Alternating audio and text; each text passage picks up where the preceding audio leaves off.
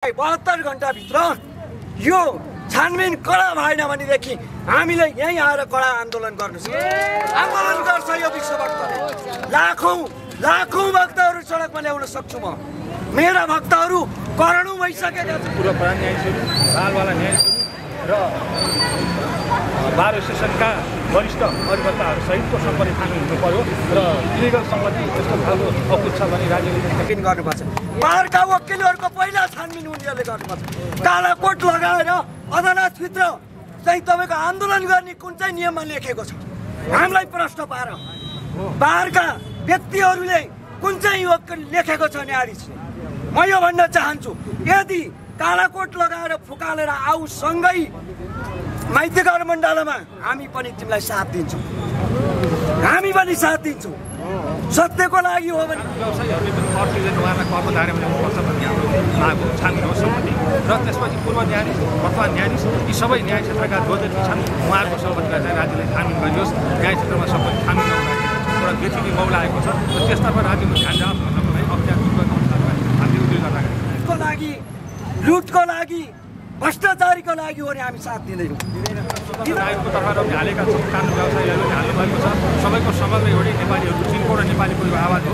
हामीले उहाँहरूको आवाजलाई प्रतिनिधित्व गरेर हामी यहाँ केही मान्छेहरू भेला भएको तर सिँगै राज्यपालको आवाज हो। यो राष्ट्रको लागि पैसाका बेचिन तयार हुँदैनौँ कसैको दास बन्न पनि तयार हुँदैनौँ।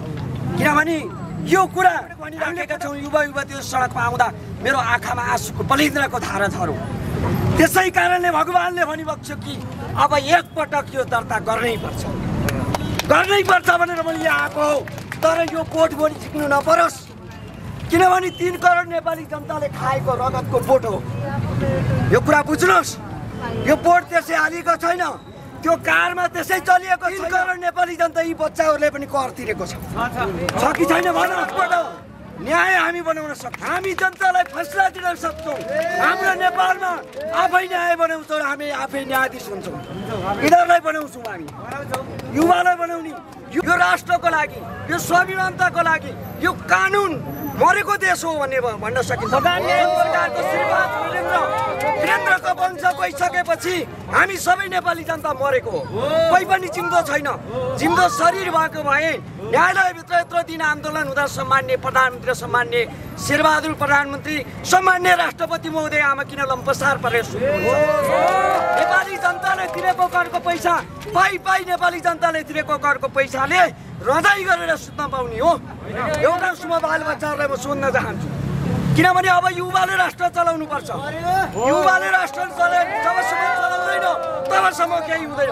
न्यायालयभित्र पनि युवा एउटा भगवान्को सच्चा भक्त भएको कारणले गर्दा गोली हान्ने आदेश दिन्छ भने हामी गोली खान तयार छौँ। राष्ट्रको लागि राष्ट्र बचाउनु पर्छ राष्ट्रको स्वाभिमान त भनेको न्यायालय पनि हो। हामीले बुझ्नुपर्ने अवस्था नेपालमा भएका यी झोले खोले बोक्ने कुनै पनि पार्टीका दलहरू यी लम्पसारवादी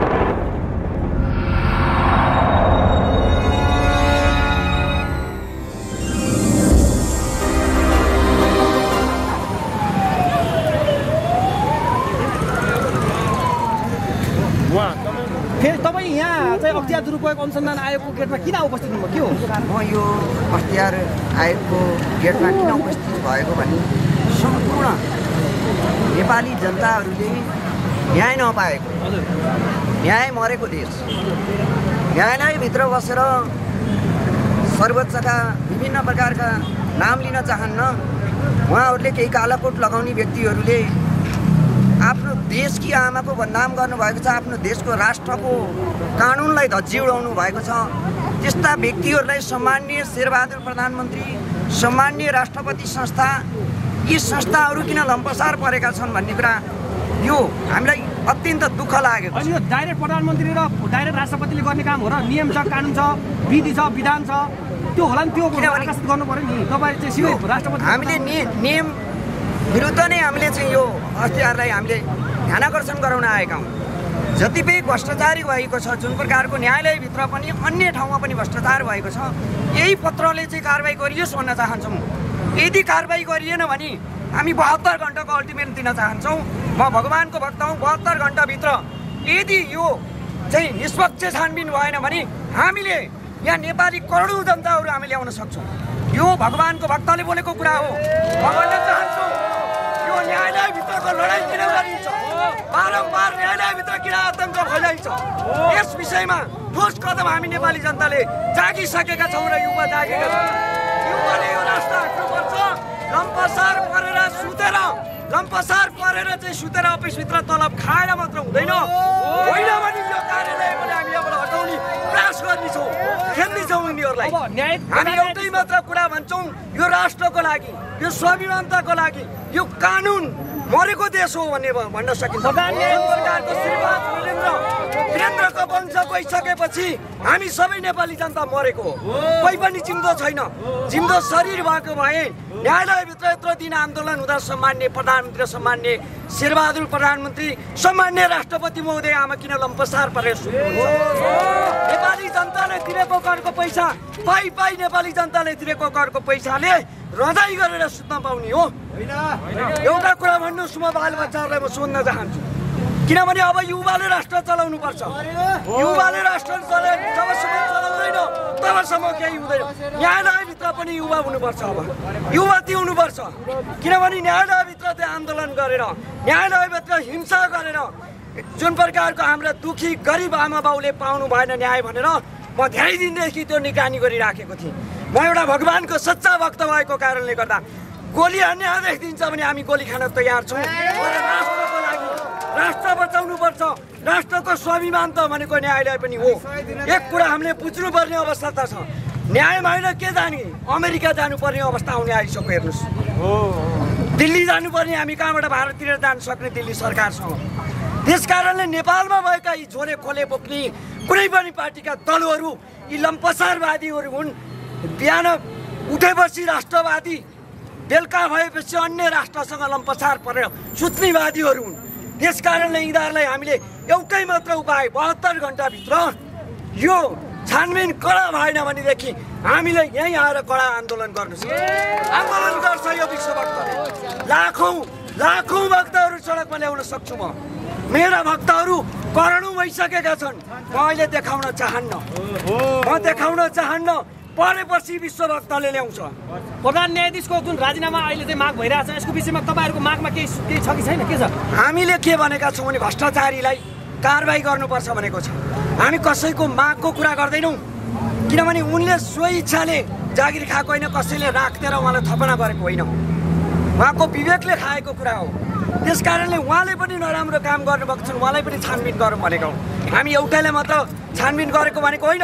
सबै त्यहाँदेखिका पहिलादेखिका बाउ बाजे जिजुबाजे हजुरबाजे ज जसको सम्पत्ति राखिएको छ चोलेन्द्र शमशेरको मात्र होइन। अन्य सबै वकिलहरूको पनि छानबिन गर्नुपर्छ। पाहाडका वकिलहरूको पहिला छानबिन उनीहरूले गर्नुपर्छ।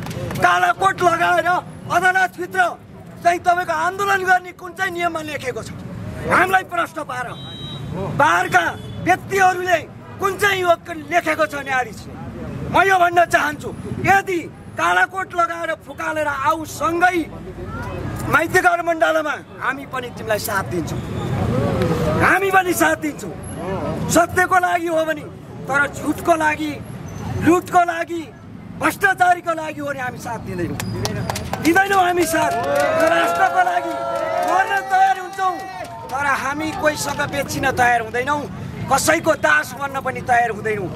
किनभने यो कुरा हामीले पटक पटक भनिराखेका छौँ। युवा युवतीहरू सडकमा आउँदा मेरो आँखामा आँसुको बलिन्द्रको धारा झरो त्यसै कारणले भगवान्ले भनिबक्छ कि अब एकपटक यो दर्ता गर्नै पर्छ। गर्नै पर्छ भनेर मैले यहाँ आएको हो। तर यो बोट बोली झिक्नु नपरोस्। किनभने तिन करोड नेपाली जनताले खाएको रगतको बोट हो। यो कुरा बुझ्नुहोस्। यो बोट त्यसै हालिएको छैन। त्यो कारमा त्यसै चलिएको छैन। तिन करोड नेपाली जनता यी बच्चाहरूले पनि कर तिरेको छ। छ कि छैन भन? छ कि छैन? अनि अब हामी अन्यायको लागि धेरै सहयौँ यहाँ धेरै पार्टी दल पनि हेरे धेरै प्रकारका न्यायालय हेरे तर न्याय यदि यसले न्याय दिन सक्दैन भने हामी युवाको सङ्गठन खोलेर दर्ता भइसकेको छ। हामी भनौँ सडकबाट न्याय हामी बनाउन सक्छौँ। हामी जनतालाई फैसला दिन सक्छौँ।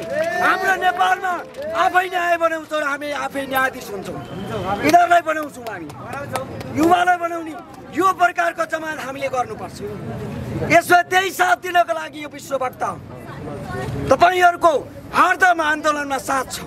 प्राण यो प्राणमा शक्ति हुन्जेलसम्म तपाईँहरूको साथ छ। नाटक बगाउनुहोस् न्यायालयका। न्यायालयका हाम्रा जुन सेतोपट्टि लाउने नागरिक समाजका युवा युवती नडराउ तिमीहरूको लागि यो ज्यान दिन तयार छ। तयार छ? कसैले गोली उनीहरूलाई ठोक्छ भने पहिला मलाई आएर ठोक। मलाई आएर ठोक भन्ने कुरा हो हामीले। तपाईँलाई के लाग्छ? यस्तो चाहिँ व्यतिथि विसङ्गतिको चाहिँ मुख्य सुरुवात कहाँबाट भयो र के हो? यसको चाहिँ मुख्य चाहिँ जड के छ सर मुख्य जर भनेकै न्यायालयभित्र मात्र होइन विभिन्न ठाउँमा छ।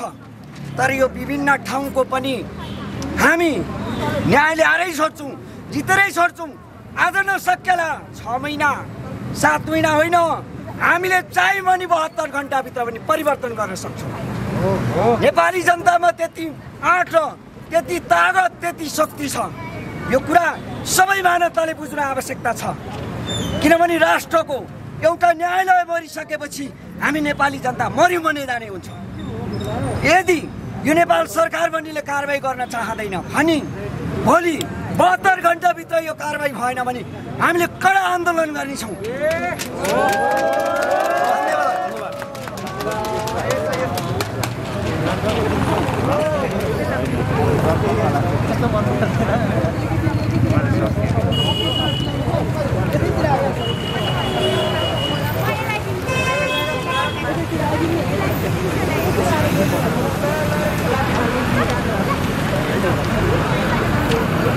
भ्रष्टाचारको छानबिन होस् भन्ने उद्देश्यले माग गरिरहेका छौँ यो पूर्व न्यायाधीशहरू पूर्व न्यायाधीशहरू पूर्व प्रधान न्यायाधीशहरू बालवाला न्यायाधीशहरू र बार एसोसिएसनका वरिष्ठ अधिवक्ताहरू सहितको सम्पत्ति छानबिन हुनु पर्यो र इलिगल सम्पत्ति यस्तो खालको अकुत छ भने राज्यले त्यसको पनि नलाग्छ तपाईँहरूको जुन प्रक्रियामा छ तपाईँहरूको मुख्य मुख्य मागहरू एक दुई तिन भनेर भन्दाखेरि सरकारमा के?